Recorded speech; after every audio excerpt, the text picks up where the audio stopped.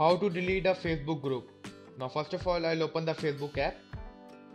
And now I will select this three lines option. And here I've got this group option. I'll select this group.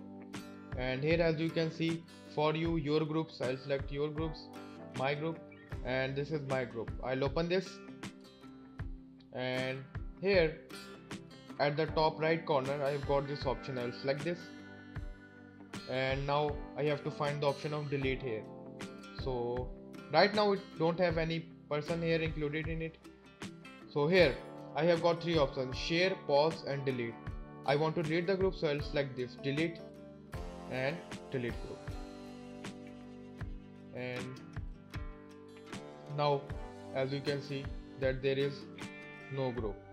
So this is how you can delete a Facebook group. Thank you for watching. For more videos, please subscribe.